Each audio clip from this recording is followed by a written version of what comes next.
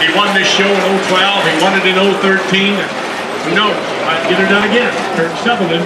Got to make some tracks. Jack 913. White Bear, Workwear. Rick Fraser. Team 23 draws in with United Tracks. Dustin Gorst and Triple M Plumbing. Chanse Vigen. Heat 5 about to come alive. The horn sounds and the charge gets underway and it's a quick start right across the board. Chanse Vigen from the inside. Kirk Sutherland from the outside. Fraser up the middle and United Tracks battle. Dustin Gorst streaks out of the infield with a couple of barrels down on that four barrel on sight. And now we go into that second turn, flying as we can. And you see Chanse Vigen getting the job done tonight with Triple M Plumbing, but oh, always got some tough company. It is White Bear Workwear around the outside with Rick Fraser streaking into that backstretch run.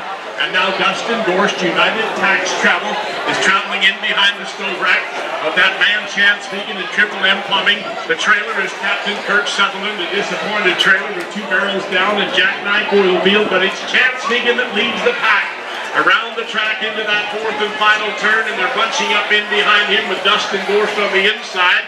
And you'll find Rick Fraser, White Bear Workwear to the outside of him. And here they come for the home stretch drive. Bonnyville, it's your turn to come alive. Take a chance. It's Chanse Vigen having a chance in winning this race tonight with Rick Fraser in hot pursuit and Dustin Gorst splitting the difference.